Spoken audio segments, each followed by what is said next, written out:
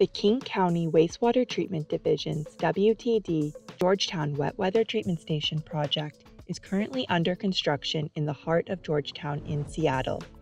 Some of the footage in this video predate the COVID 19 pandemic.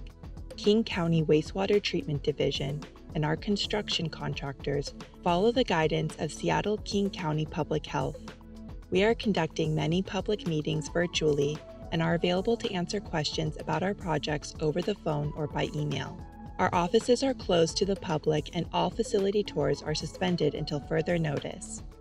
For questions about COVID 19, we encourage people to visit the Public Health Seattle and King County website, www.kingcounty.gov forward slash COVID, and subscribe to the Public Health Insider blog, www.publichealthinsider.com.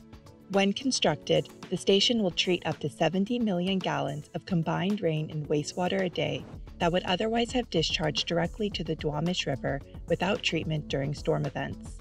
WTD began on site work in April 2017 and expects to finish construction in 2022. As of August 2020, construction is approximately 60% complete. A lot has happened since we started construction, and we want to show you how much progress has been made. Construction for the project is broken up into three elements the treatment station, underground conveyance pipes, and the outfall structure. The treatment station is where most of the wastewater treatment process will take place. Several major milestones have been accomplished so far. As of July 2020, many of the buildings and structures have been erected and are approximately 85% complete. Another milestone in May 2020 passed when crews completed installation of the electrical conduits for inspection by Seattle City Light. This video walks through a virtual tour of the treatment station process and site as it is now. The process begins when untreated stormwater passes through the Brandon Street Regulator Station, which helps control treated and untreated stormwater flows in the sewer system. Untreated stormwater is then brought to a 1.1 million gallon reservoir or equalization basin through underground pipes. Metal screens in the basin remove debris from the stormwater, which is then pumped to the ballasted sedimentation building through six vertical turbine pumps.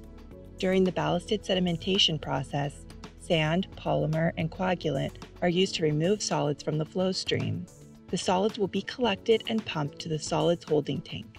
Solids in the holding tank will be sent to the West Point treatment plant for processing. The remaining wastewater is then pumped to UV tanks which treat the wastewater using ultraviolet lights to kill germs. After cleaning, underground pipes will carry treated flows from the station to the outfall structure where they will be released into the Duwamish River.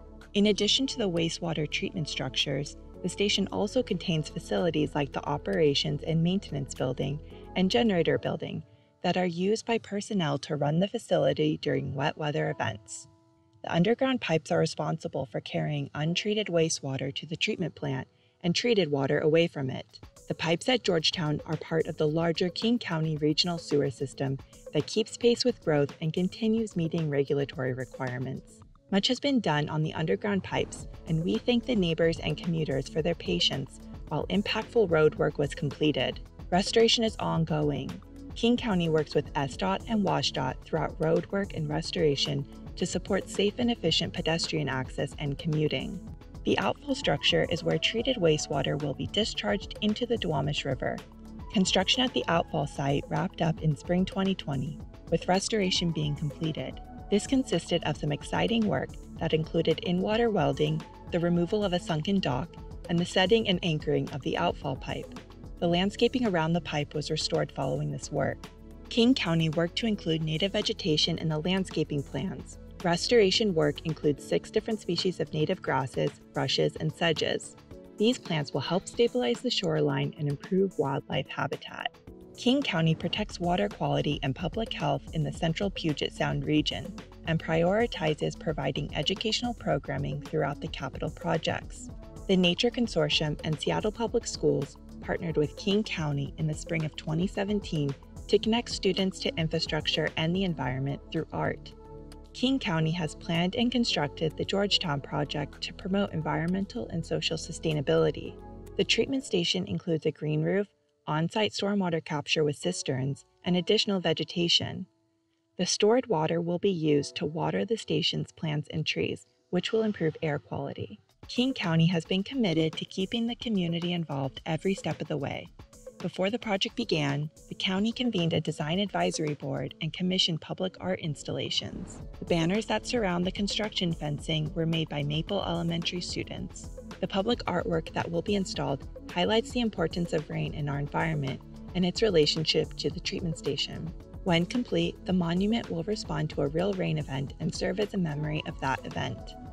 During construction, the county has continued to work directly with the community so construction information is shared and neighbors know what to expect. We attend community group and council meetings to share updates and to hear any concerns, offer project briefings, and send regular email and newsletter updates and ongoing social media posting.